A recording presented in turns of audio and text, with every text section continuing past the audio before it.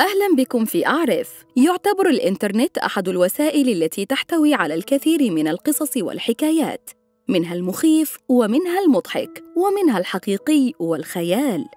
كما يوجد البعض منها الذي يكون حقيقيا ومليئا بالحزن، والتي من المستحيل أن تستمع لهم ولا تنهمر في البكاء، حيث يمكن لهذه القصص أن تحيي فيك إنسانيتك أو تجعل شعورك يتحرك مرة أخرى. لهذا فإن الفيديو الذي سنعرضه اليوم يعد مليئا بمثل هذه القصص. الببغاء المخلص عندما تفقد صديق مقرب لك تشعر ببعض الحزن على وفاته، ولكن الحيوانات تشعر بأضعاف هذا الحزن عندما تفقد أصدقائها، كما أنها تشعر بالألم أيضاً. وقد اكتشف العلماء أن الببغاوات هم من أكثر الطيور شعوراً بأصحابها، وهي أكثر الطيور عاطفة وحزناً على فقدان أصحابهم، كما أنهم يعانوا من الإحباط والاكتئاب عندما يفقدوا شخصاً عزيزاً مقرباً لهم. وعلى سبيل المثال، قصة ببغاء يدعى سينداب أرغم على المرور بوقت عصيب للغاية عندما فقد الشخص الذي كان يعيش معه ويرعاه منذ 25 عاماً. وعلى الرغم من أن هذا الطائر كان مرحاً إلا أنه كان يرافقها في المشي وحتى آخر لحظات حياتها وكان يشعر بجانبها بكثير من الحزن لأنه كان يشعر بأنها سوف تفارقه وبالفعل فإن آخر ما لفظته هذه السيدة عندما اقترب منها طائرها هو أنها همست له قائلة أحبك وتوفت بعدها. مساعدة زميلك. تحكي هذه القصة عن أندري جراف وطفله الصغير غولياس المريض بالليوكيميا وهو سرطان الدم. وعندما تم تشخيصه وتأكيد إصابته بهذا المرض أرسل في الحال للعلاج في المشفى. وبعد مجهودات الأطباء وبعد علاجه ذهب إلى المنزل. توفت والدة غولياس بنوبة قلبية مما أثر على نفسية الطفل ولم يجعله ذلك الخبر يقاوم مرضه كما كان يفعل سابقا. ولم يبقى للطفل سوى والده فقط.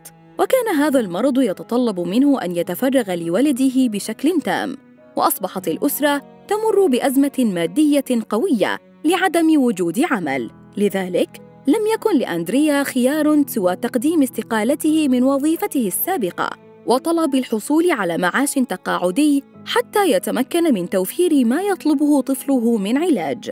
لذلك قام زملاؤه العمال في الشركة بالتعاون جميعاً حتى وصل عددهم إلى 650 عاملة وتعاونوا مع أندريا وجمعوا له المال ولكن لم تتوقف مساعدتهم على المال فقط ولكن اتفقوا جميعاً على العمل ساعات إضافية بدلاً من أندريا واستمر ذلك لمدة عامين حتى أصبح أندريا قادراً على العودة إلى عمله وأصبحت حالة غولياس مستقرة بعض الشيء. بطاقات بريدية خاصة بأولي. كان الطفل أولي يعاني من التوحد ولم يكن لديه أي أصدقاء. وقبل أن يتم الخمسة عشر عاماً ذهبت والدته كارين إلى حجرته فوجدته يكتب لنفسه خطابات بريدية. وذلك لأنه لم يكون أي صداقات وليس لديه أصدقاء لتهنئته في عيد ميلاده.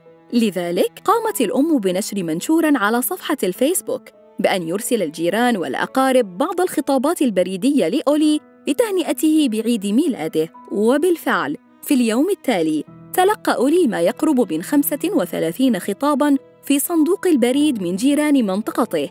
ولكن سرعان ما انتشر هذا الأمر في جميع أنحاء العالم وليس المدينة فقط. وبعد يومين من ذلك ذهبت الأم لتتفحص صندوق البريد ووجدت حوالي 14 ليس خطاباً بريدياً ولكن 14 صندوقاً مليئاً بالخطابات.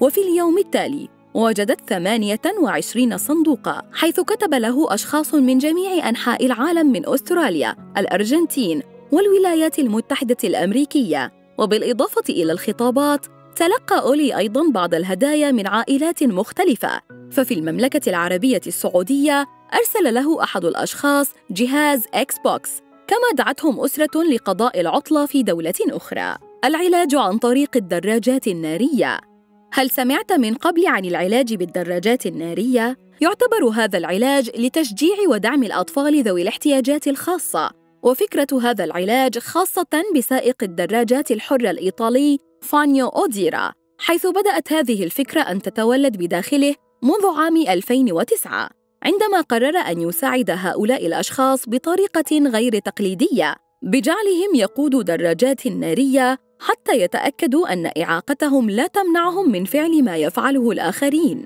هذا العلاج تمكن من جعلهم يستعيدوا ثقتهم بأنفسهم ويتخلصوا من الخوف الذي بداخلهم من العالم الخارجي.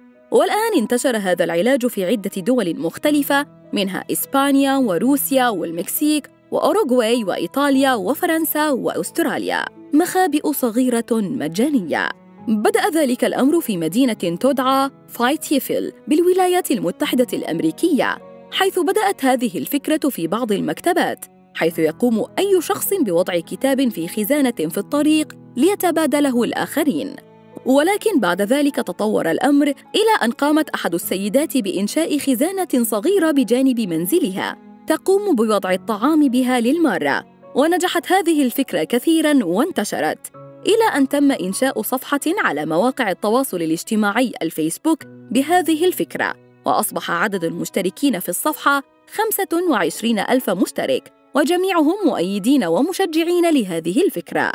وانتشرت هذه الفكرة في عدة مدن وبلدان مختلفة حتى أصبح الصغير والكبير ينفذها حيث يقوم الأطفال بوضع ما يوجد لديهم من طعام في خزانة صغيرة بجانب منزلهم حتى يأخذ منها من يحتاج للطعام من المارة. وعلى الرغم من تردد العديد من الأشخاص من عمل هذه الفكرة خوفاً من السرقة وإثارة المشكلات إلا أنه حتى الآن لم يقم أحد بسرقة أي من تلك الخزانات المليئة بالأطعمة المختلفة بل كانت بالفعل هذه الفكرة تلبي احتياجات المرة من الفقراء والمحتاجين.